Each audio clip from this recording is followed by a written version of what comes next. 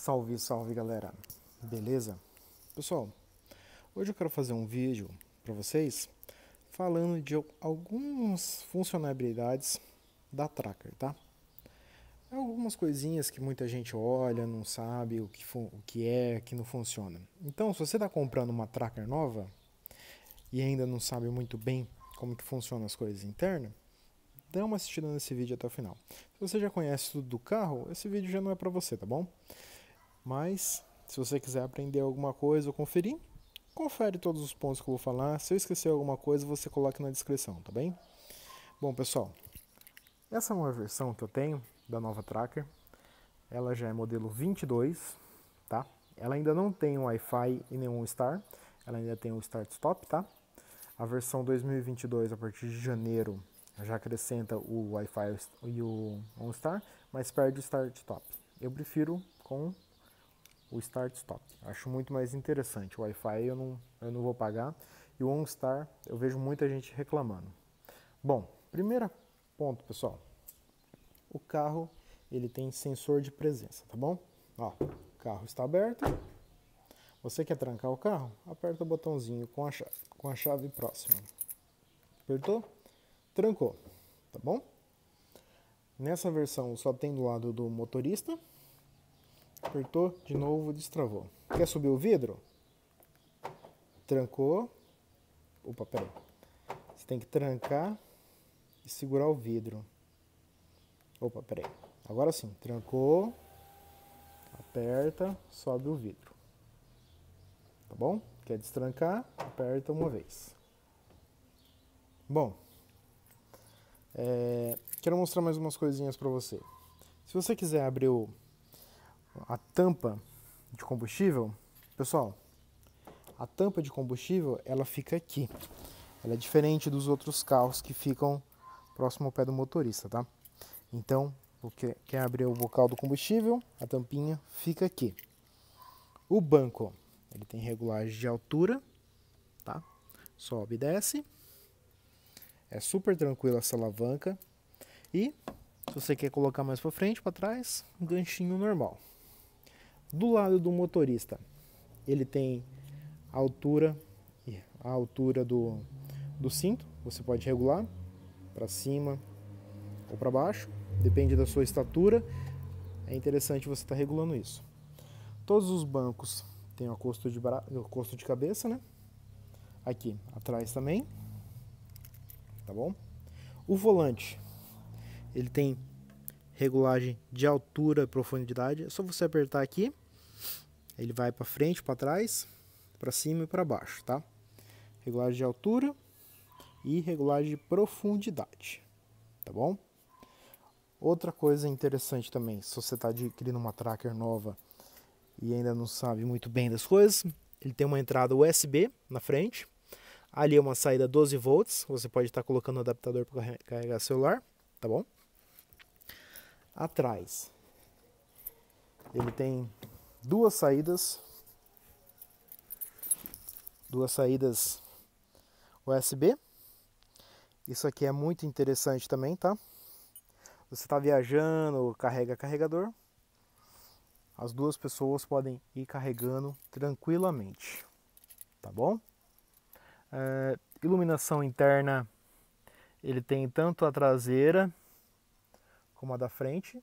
Ah, mais uma coisa. Aqui, pessoal, você pode acender tanto como a luz da frente como a de trás, como você pode estar tá controlando e acender só de um lado, tá? É luz de leitura. Aí. Ligou todas, desligou todas, tá bom? É, essa versão minha tem o, o Stop and Go. O Stop and Go o que, que é? É aquele botãozinho ali no canto, pessoal. Aquilo ali é para o carro parar no semáforo e desligar o motor, tá? Se o motor estiver aquecido, tudo certinho com a temperatura ideal, quando você estiver parando num semáforo, alguma coisa assim, ele vai, assim que você pisar totalmente forte no freio, ele vai estar tá desligando o motor.